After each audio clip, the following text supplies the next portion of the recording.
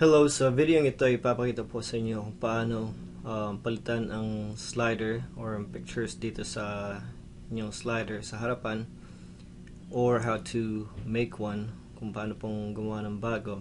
So to do that, oh by the way, ang size po nito ay 1200 pixels, ito pong width. Tapos ang height niya ay 365 pixels. So punta po tayo sa back end, which is this. So makikita po ninyo dito, marami po tayong mga posts. So kapag kinlik po natin tong post or all posts, makikita po natin lahat ng posts ng ating website dito. As you can see, we have 193 posts. Most of them po ay mga videos and mga products and slides or presentations. So, para po makita lang po natin yung mga featured na uh, slides or yung mga nasa featured na category.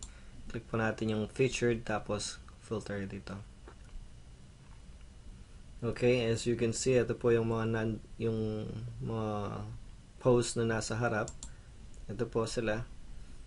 So if we want to make changes let's say ito pong PMAI kung gusto po natin siyang tanggalin we can just do a quick edit.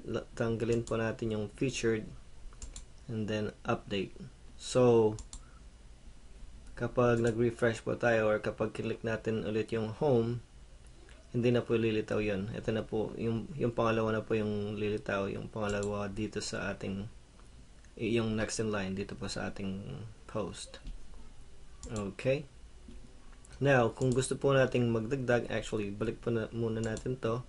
So, lagay natin sa featured. By the way, we can click other categories po kung gusto niyo mabilang ito sa distributor tools, pwede rin. As long as it's uh, as long as naka click po yung featured na category and then masasama po siya dito sa featured items natin dito sa slider. Okay, let's update and then refresh this. It should show up again.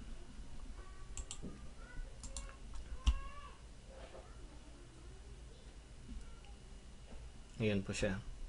So now, if we want to add a new post or a new slider, click lang po yung add new.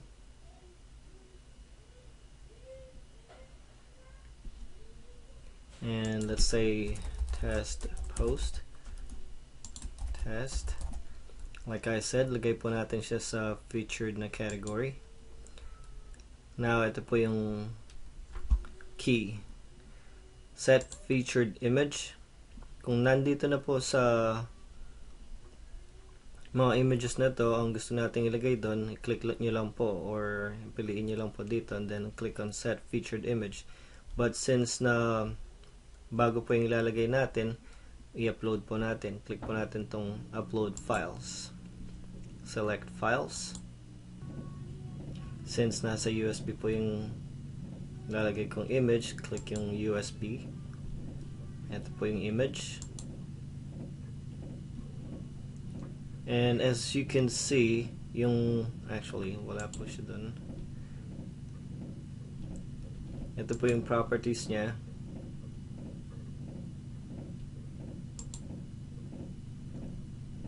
Yung dimensions po niya 1200 by 365 pixels.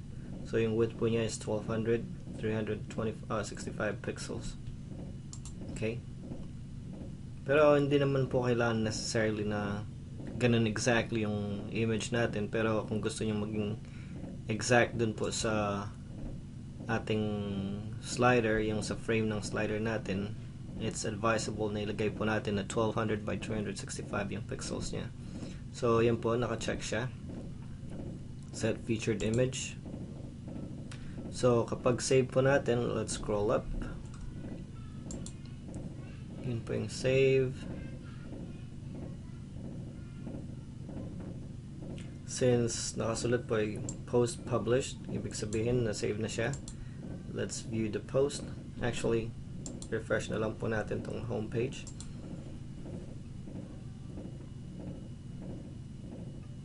Yan po siya. So, as you can see, malinaw po siya kasi it's maximizing yung dimensions po ng ating frame dito. Okay? If you have any questions, just let us know po. Salamat.